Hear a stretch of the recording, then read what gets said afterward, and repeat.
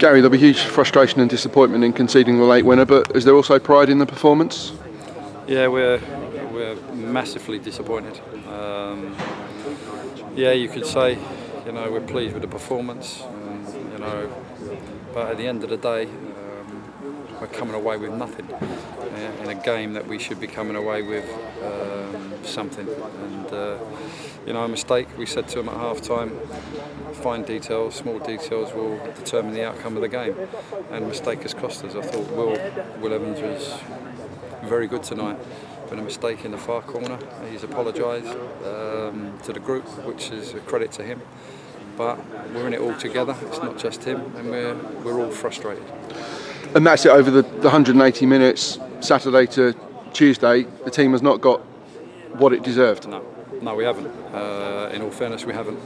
But um, I've also said to the players that we we've had in both games, you know, lots of possession.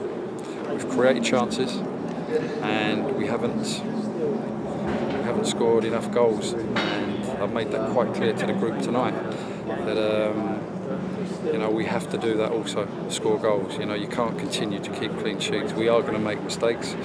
Um, We've we've been very very tight at the back, but we are creating chances and we're not taking them. So, you know, we have to make sure that uh, we do so. We've spoken about how, particularly on Saturday, how the goals will come. Are you, are you starting to see like something different needs to be done, or, or is the message still keep doing what you're doing, lads? No. It will come. And you know, the frustrating thing is we are we're we're playing decent football we're, we're creating chances and we're not taking them at the moment. Um, but you know the players in them positions are going to have to because that's why they're in the, this group. The front players within our within our team. Um, are going to have to chip in with the goals. It's as simple as that, you know. And uh, I said that to the lads in the dressing room. I'm saying it here. Uh, they know my feelings on it. Um, and we're going to have to do that as a group. But for the second game in a row, again to allude back to Saturday, we're talking about a shot that's hit the post in the last couple of minutes that could have given us a much more positive result. You go through spells like this during the course of the season, but when it when you're going through it, or when you you feel you deserve more from games, it's it's, it's bitterly disappointing. Um, but you, again, tonight you can't take anything away from the players. You've got to give them credit for their, the way they played. Um, they took on board what uh, was put into practice on the training ground, and um, we're going back home with nothing. Which, uh, yeah, I'm, I'm bitterly, bitterly disappointed. Dagenham in second, they're moving up the table, but shots certainly for the large parts of the game matched them, asked them lots of questions. No, we did. You know, they're second in the table. They're a, you know, they're a good side. Um, they got good players.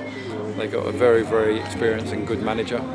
But we matched them. We more than matched them, and um, we should we should be going home with something. And uh, we, we mustn't go away from what we're trying to uh, uh, do here uh, and, and how we're trying to play, because we play very, very well uh, this season.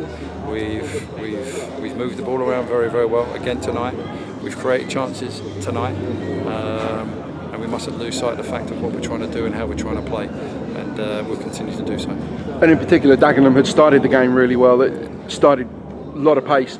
Lesser teams might have buckled under that pressure, but the shots stood up to it and grew grew into the game. Well, yeah, you're right. They did start well, uh, and we grew into the game. But we grew into the game, and you know, second half, you know, we were on the front foot, and uh, I think you can tell that our conversation. I am, I'm frustrated. But th those are the fine margins again. The the mistake in the corner, the shot hitting the post. At the moment, they're going against us, but you can't you can't wallow in that, that misery. You've got to come stronger and, and put it right on Saturday, I suppose. I can tonight. I can wallow in it tonight. I can be frustrated and angry tonight, but uh, as soon as I wake up tomorrow morning, we'll be right on it for the game on Saturday. Look, against Torquay, Matty McClaw's hit an unbelievable strike, and it's hit the inside of the post. Their keeper, repeating myself, played very well Saturday, and right at the death there, we've had a, a fantastic effort again, which on any other given occasion could possibly nestle in the back of the net. But that's not to be. Um, we'll pick the bones out of how we played tonight. We'll address the areas that we need to address. We need goals, and we'll move on to Saturday's game. Well, thank you very much, Gary. Good Thank night. you.